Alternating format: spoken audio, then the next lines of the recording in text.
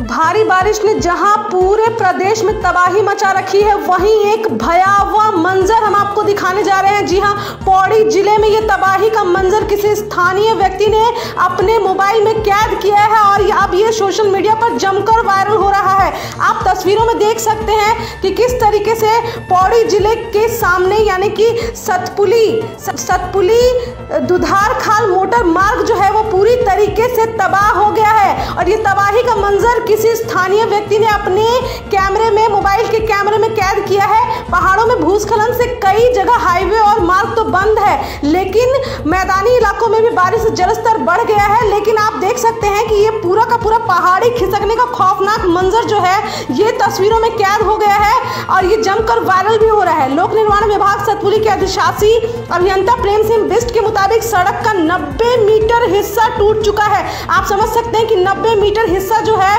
ये सतपुली विधानसभा मार्ग जो है तबाह हो गया है। अगर आपके परिजन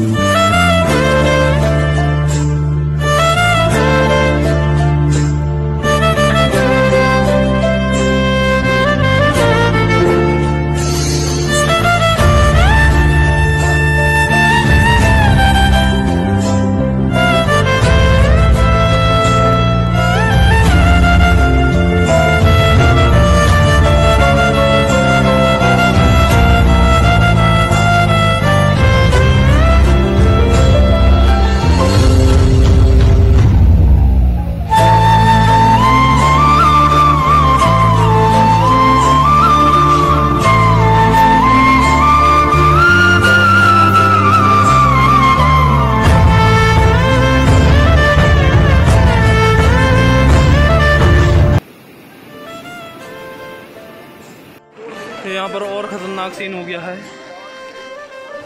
भाई आगे मत जा प्लीज़ हिमालयन का पुल।